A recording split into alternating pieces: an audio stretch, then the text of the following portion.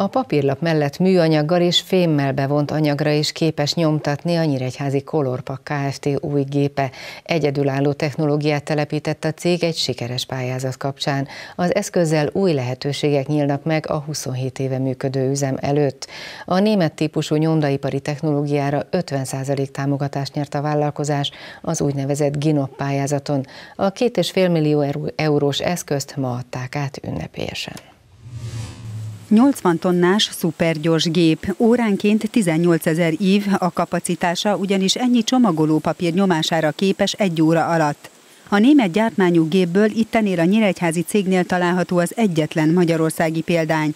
Gyorsabban, jobb minőségben és alacsonyabb áron lehet előállítani a terméket. A gépbe táplált kontrollfunkciónak és precíz színadagolónak köszönhetően pedig a lehető legkevesebb selejt keletkezik a nyomtatás során. A Nyíregyházi Kolorpak Kft. az egyik vezető hazai nyomdaipari cég. Ezt az egyedülálló technológiai beruházást 2,5 millió euróból valósította meg. Ginopos pályázaton nyert 50%-os támogatást az eszközre. A gép azért kuriózum, és ezt a kuriózumot szeretnénk kihasználni benne. Terméket különösebbet nem tud. Tehát nem tud olyan dolgot, amit eddig Magyarországon ne tudtak volna más cégek megcsinálni. De sokkal hatékonyabban és sokkal jobb minőségben tudja, mint ezt valaha valaki is tudta Magyarországon ma. Ezt szeretnénk kihasználni. Ennek a különlegessége alapvetően az UV technológia.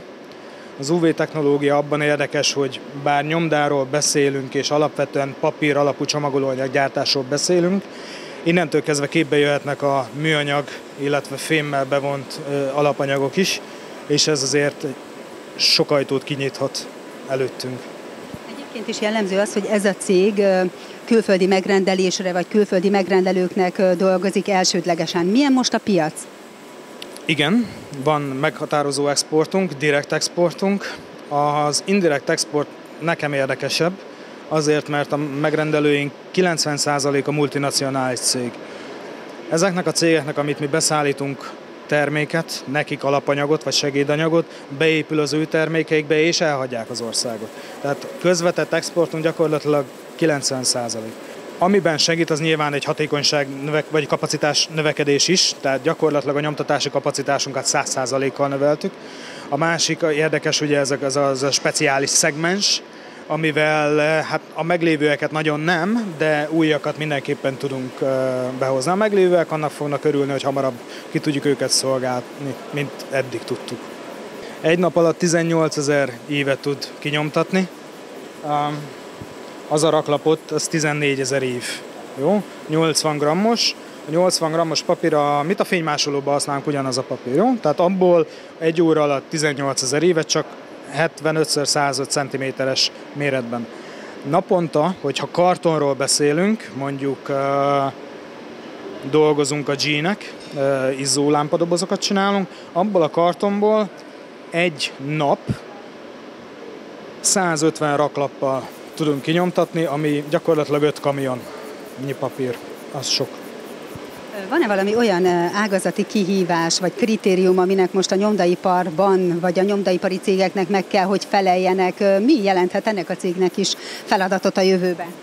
Sok újdonságot nem fogok mondani, de a szakképzett uh, utánpótlás az, az, az mindenképpen egy nagyon-nagyon fontos uh, szempont, és number one prioritás nálunk.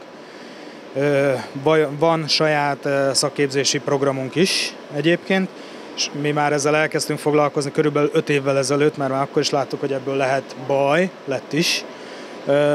Én úgy gondolom, hogy nyilván ezen is lehet fejleszteni, de mindenképpen jó az az irány, amit mi vettünk 5 évvel ezelőtt. Az új technológia bevezetése a cég 5-6 éves fejlesztési programjának első állomása. 80 fő dolgozik a nyomdaipari üzemben, a fejlesztések révén akár 200-ra is emelkedhet majd a foglalkoztatottak száma az ötödik év végére, mondta el a vezérigazgató. Hozzátette, náluk is gondot okoz a szakemberhiány, a szakképzett utánpótlást saját képzési programjukkal biztosítják. Nyíregyháza városfejlesztési programjában figyel a helyi vállalkozásokra, mondta Kovács Ferenc polgármester az átadón a minél jobb infrastruktúrális feltételek biztosítására, a cégek digitális fejlesztésére és a munkaerő biztosításra is törekszik. Több olyan jellemzője van ennek a beruházásnak, ami fontos, több mint 25 éve itt működő, itteni tulajdonosi körrel, itteni dolgozókkal sikeres fejlesztéseket lebonyolító cégről van szó, aki közvetlenül vagy közvetve világpiacot termel, hiszen a vevői kör az a multinacionális világpiacon jelenlévő cégek, és ez nyilván meghatározza a minőséget is. Azért fontos, mert a város is erre törekszik, az önkormányzat, a város fejlesztési programjának kiemelt terület az, hogy segítse a helyi vállalkozásokat, hiszen ez a városnak is, az önkormányzatnak is a gazdasági hátterét erősíti. Milyen eszközei vannak a helyi önkormányzatoknak arra vonatkozóan, hogy a jövőben a helyi cégeket hogyan lehessen még jobban megerősíteni?